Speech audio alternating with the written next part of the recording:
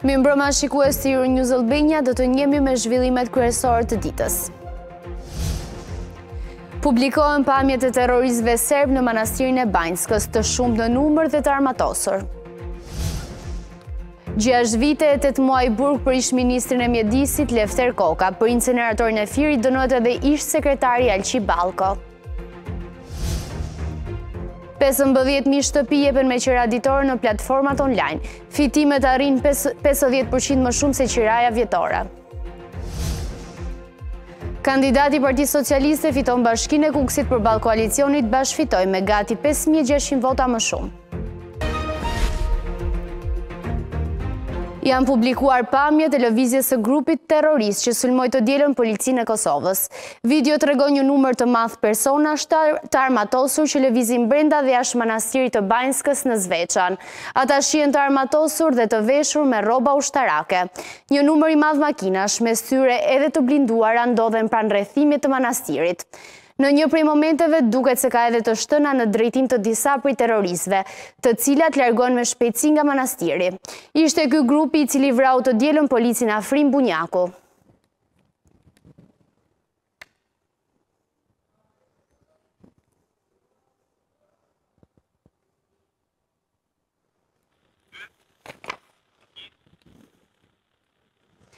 Efektivi i policisë që ra në krye të detyrës në veri, Afrim Bunjaku është nderuar me urdhrin Hero i Kosovës. Presidentja Vjosa Osmani e cilësoi babain e tre fëmijëve si gardianin e sigurisë. Ndërsa Kryeministri Kurti u ndal të theksonte se ngjarja e së dielës vërtetoi edhe njëherë se cila është e vërteta mes Kosovës dhe Serbisë. Hero i Kosovës, ky është urdhri i ndarë për policin e vrarë në krye të detyrës Afrim Bunjaku. Presidentja e vendit, Vjosa Osmani bashkë me dy djemtë e Bunjakut e quajtën policin gardian të lirisë.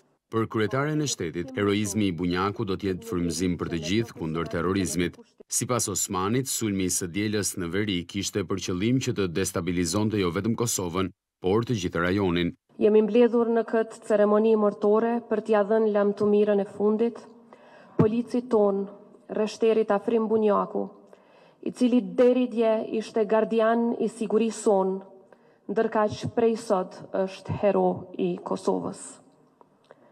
Ai ra në mbrojtje të rendit, ligjit, integritetit territorial dhe sovranitetit të Republikës së Kosovës. Ra në mbrojtje të dinjitetit të Republikës sonë.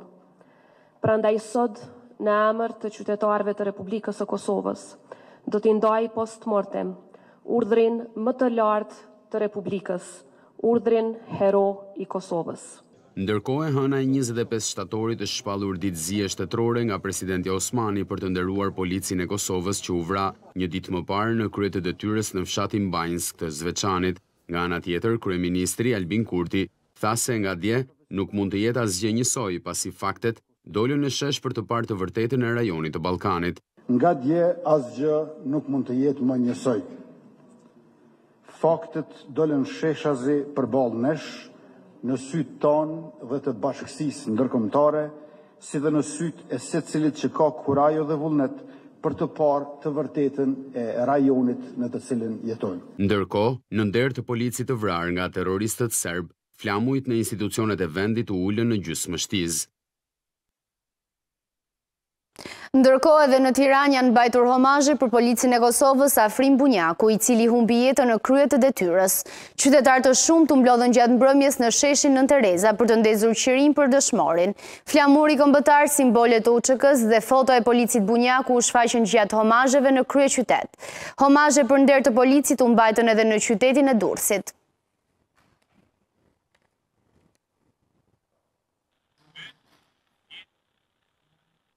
Shtetet e bashkuara dhe bashkimi Europian kanë dënuar sërisht sulmin e serbëve ndaj policisë së Kosovës. Reagime ka patur edhe nga Italia dhe Franca.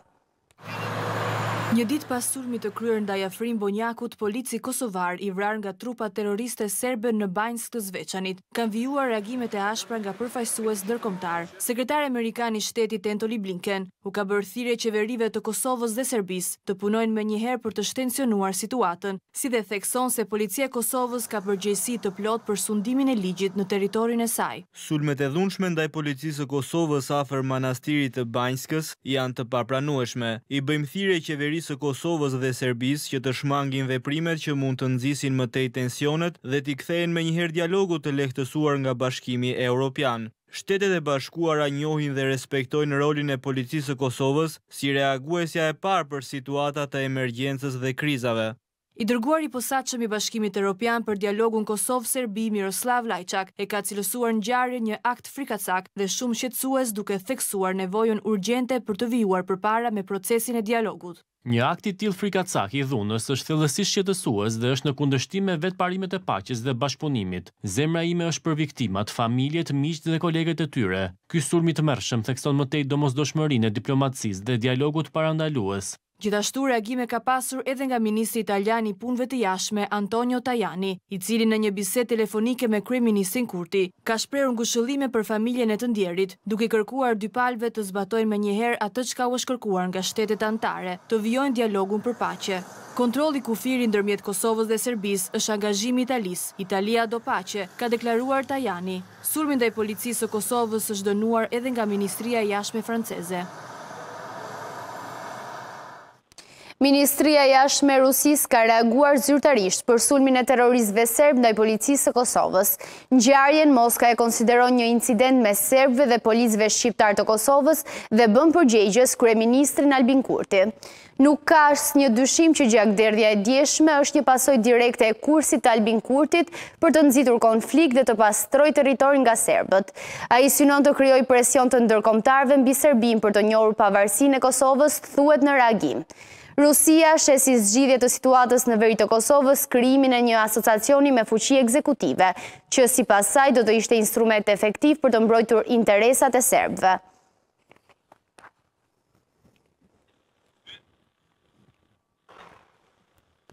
Gjykata e posaçme dënon me 41 vite burg në total me gjykim të shkurtuar të akuzuarit për inceneratorin e Fierit. 6 vite e 8 muaj burg janë dhënë për ish-ministrin e mjedisit Lefter Koka, ndërsa ish sekretari i përgjithshëm i kësaj ministrie, Alqi Bllako është dënuar me 2 vite e 8 muaj burg. Tre të akuzuar të tjerë kanë marrë pafajësinë. Ish-ministri i Mjedisit, Lefter Koka, u dënua me dhjetë vite burg për abuzimin me inceneratorin e Fierit por për shkak të gjykimit të shkurtuar, ai do të vuajë dënimin me gjashtë vite e tetë muaj burg. GKKO pranoi kërkesën e SPAK duke e shpallur atë fajtor për akuzat e korrupsionit, shpërdorimit të detyrës dhe pastrimit të parave. ndërsa ish-vartësi i tij Alqi Bllako u dënua me katër vite burg por për shkak të gjykimit të shkurtuar do të vuajë dënimin me dy vite e tetë muaj heqje lirie. Edhe pse SPAK kishte kërkuar për të dënimin me shtatë vite burg, gjykata e shpalli të pafajshëm ish-sekretarin e përgjithshëm të Ministrisë së Mjedisit për akuzën e shpërdorimit të detyrës të kryer në bashkëpunim, duke e rikualifikuar këtë vepër penale pa rrethanën rënduese të bashkëpunimit.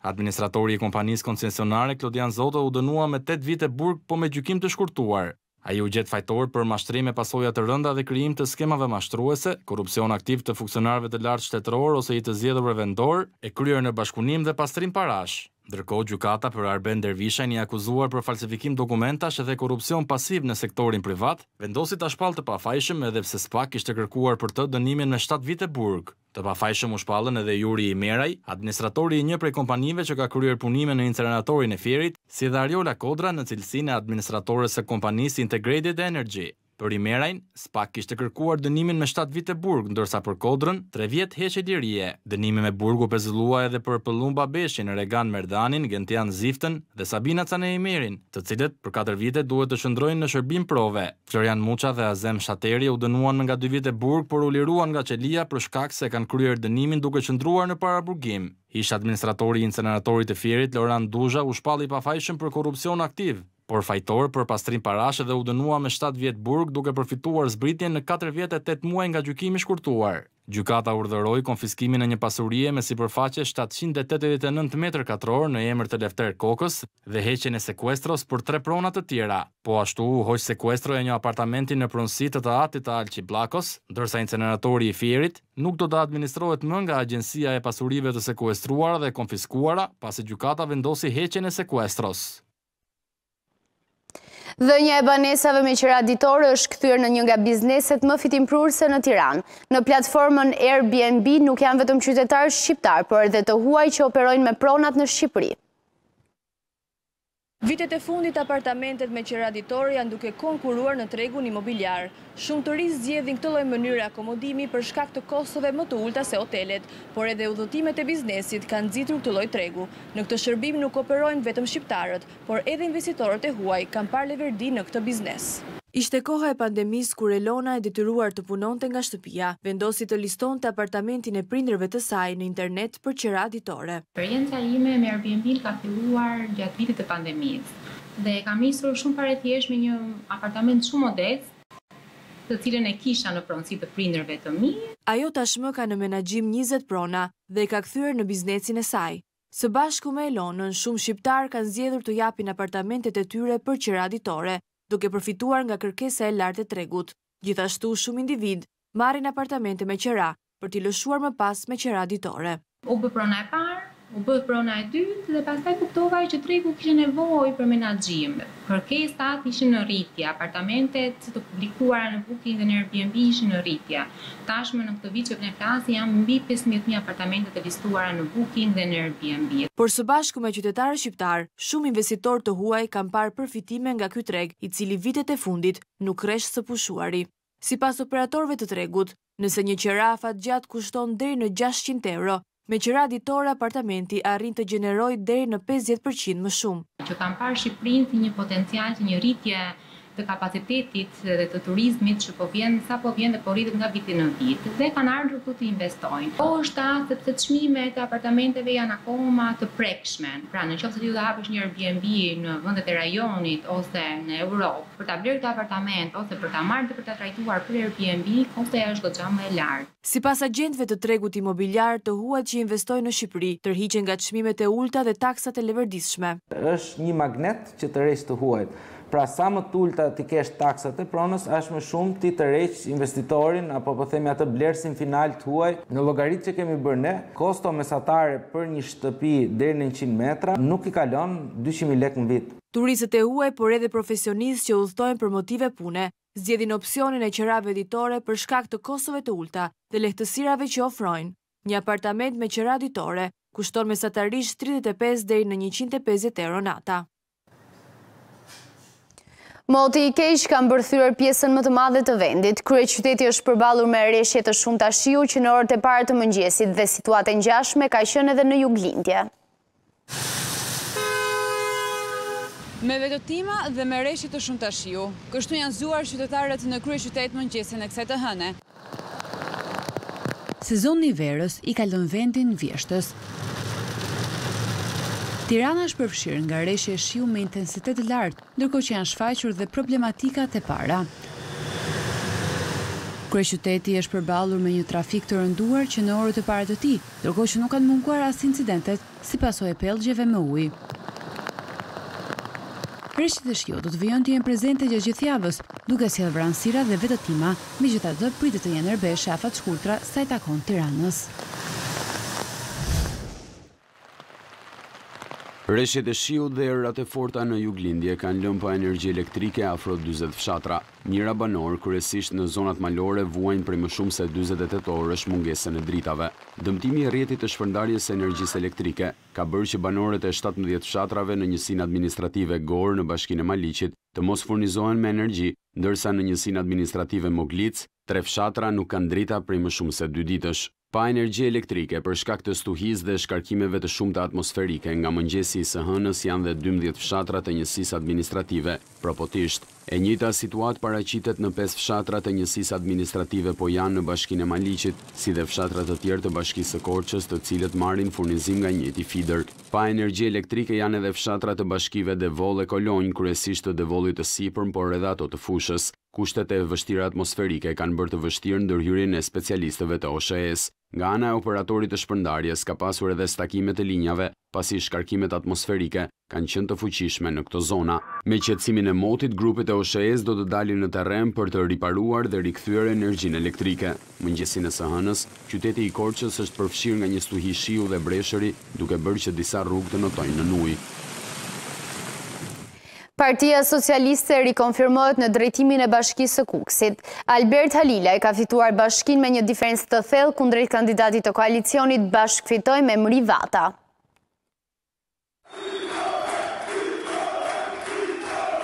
Me 5.594 vota diferencë, kandidati i Partisë Socialiste Albert Halilaj ka fituar garën për bashkinë e Kukësit, duke rikonfirmuar Partinë Socialiste si forcë drejtuese në këtë bashki, Përballë rivalit Emri Vata nga koalicioni Bashkë Fitojmë. Në shtatëdhjetë e katër kutitë e votimit, Albert Halilaj arriti të merrte trembëdhjetë mijë e njëzet e pesë vota, ndërsa Emri Vata mori shtatë mijë e katërqind e tridhjetë e një vota. Votat e fundit Albert Halilaj i priti në qendrën e numërimit, aty ku edhe festoi me mbështetësit e tij, me flamurin e Shqipërisë etnike. Në një intervistë për Euronews Albania, Albert Halilaj tha se do të punojë për zhvillimin e Kukësit. Falenderoj gjithë qytetarët e Kukësit për besimin që më kanë dhënë, për këtë përgjegjësi të madhe dhe u premtoj të gjithë qytetarëve që do jem një djalë siç kam qenë më para, i thjeshtë, pranë çdo qytetari, pa bindje partiake, për t'u ardhur në ndihmë lidhje me përmirësimin e infrastrukturës, lidhje me uljen e papunësisë, lidhje me zhvillimin ekonomik të Kukësit. Në zgjedhjet e njëzet e katër shtatorit morën pjesë dyzet e pesë pikë gjashtëdhjetë e tre për qind më pak qytetarë se në katërmbëdhjetë maj, kur kutive të votimit iu drejtuan pesëdhjetë e dy pikë shtatëdhjetë e nëntë për qind. Zgjedhjet e një dite më parë u zhvilluan të qeta, duke mos patur asnjë problematikë as gjatë mbajtjes procesit votimit dhe as atij të numërimit. Opozita në Greqi ka një lider të ri. Stefanos Kaselakis ka marrë detyrën si kryetar i Syrizas dhe 35 vjeçari po tërheq me shpejtësi vëmendjen e mediave ndërkombëtare. Stefanos Kaselakis ka arritur të shkundë politikën greke. Biznesmeni tridhjetë e pesë vjeçar është kthyer nga Shtetet e Bashkuara në Greqi rreth gjashtë muaj më parë. Të dielën e kaluar, ai u zgjodh kryetar i partisë Syriza dhe rrjedhimisht kryetar i opozitës. Mediat greke dhe ndërkombëtare po shfaqin interes të madh për liderin e ri politik dhe e ndjekin në çdo hap. Stefanos Kaselakis zëvendëson në këtë post ish-kryeministrin dhe ish-kreun e partisë, Aleksis Tsipras. Tsipras dha dorëheqjen në mes të korrikut pas humbjes në zgjedhjet parlamentare. Stefanos Kaselakis ka studiuar financë dhe shkenca ndërkombëtare në universitetet amerikane. Që nga viti dy mijë e pesëmbëdhjetë ai punon në sektorin e transportit detar. Ai flet anglisht, frëngjisht, gjermanisht dhe spanjisht dhe është lideri i parë politik grek që është deklaruar gay. Për shumë zyrtarë partiakë, zgjedhja e Kaselakis ishte një tronditje e madhe, pasi ai arriti të mposhte kandidatë me përvojë dhe ndikim të madh politik. Deputeti Petros Papas shpjegon sekretin e suksesit të tij. Ai iu afrua njerëzve, bisedoi me ta dhe dëgjoi problemet e tyre. Stefanos vjen nga biznesi, sektori financiar dhe i njeh vështirësitë që njerëzit po përjetojnë në ditët e sotme. Ai nuk vjen nga flluska politike, nga audienca e ngushtë partiake. Ai nuk përdor gjuhën e drunjtë politike që e ka lodhur popullin. Gjashtë muaj më parë, vetëm disa e njihnin emrin e Stefanos Kaselakis dhe askush nuk mund ta imagjinonte se ai do të zgjidhej kryetar i partisë kryesore opozitare. Pas pesëmbëdhjetë vitesh udhëheqje të Aleksis Tsipras, partia Siriza po kthen faqe. Stefano Kaselakis pretendon se mund ta mposhtë kryeministrin Kyriakos Mitsotakis.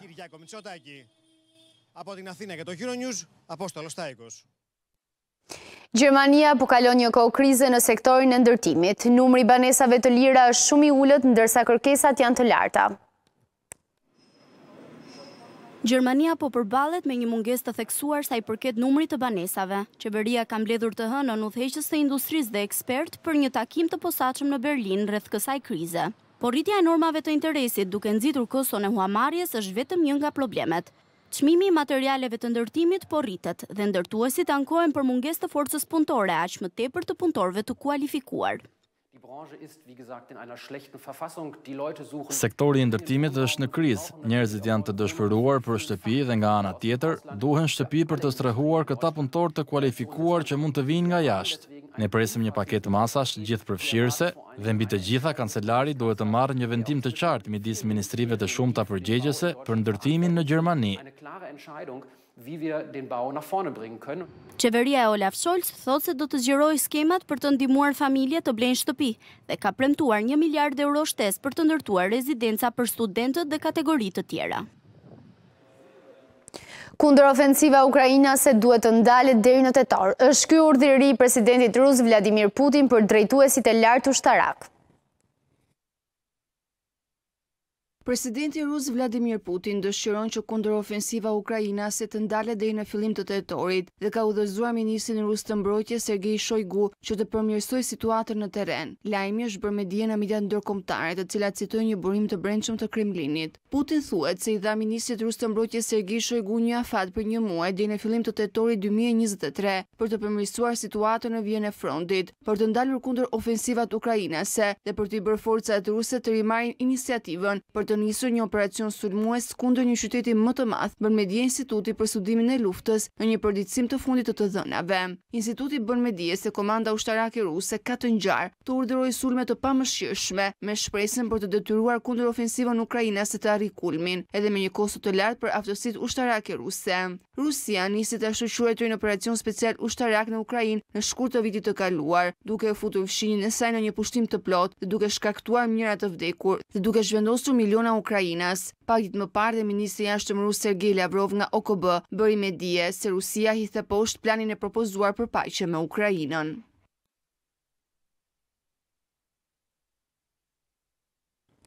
Kjo ishte gjithçka e përgatitur për këtë edicion informativ. Ndërkohë ju kujtoj që për lajmet e fundit nga vendi, rajoni dhe bota, shkarkoni aplikacionin Euronews.al në App Store dhe Google Play.